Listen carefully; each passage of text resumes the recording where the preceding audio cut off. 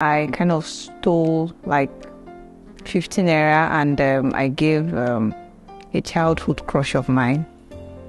And I was six years. I am here to tell my HerVest story.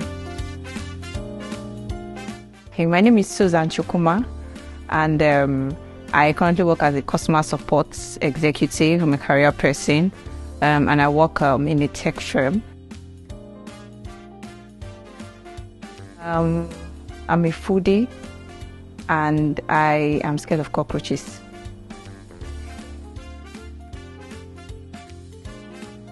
I kind of stole like 15 naira and um, I gave um, a childhood crush of mine. And I was six years.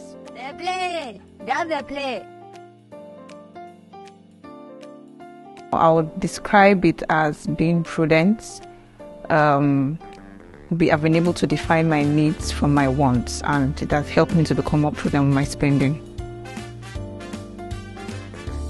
I got to know about HerVest while I was scrolling on Instagram. One night, I stumbled on a sponsored ad on Instagram, and then it's kind of made me more curious about it because I was actually looking for how to save money better than just keeping money in my bank accounts. And so um, I clicked on the post link or, or, the advert link, and then I was able to download the app and I started using HerVest. Data. I spend my money mostly on data. I would leave Nigeria. Never been to South Africa before? To meet necessary? I would jump. Okay, my favorite feature on the HerVest app would be the part where I can choose how long my plan would last. So I can decide to make it a one month plan. I can decide to make it a two month plan, a three month plan.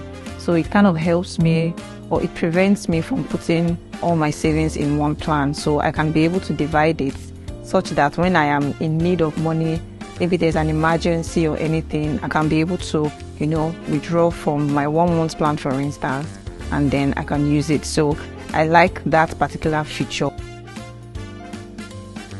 HerVest has helped me to become more financially prudent than I already was. It has helped me to be more objective. It has also helped me to reach my financial goal much better. That is why I recommend HerVest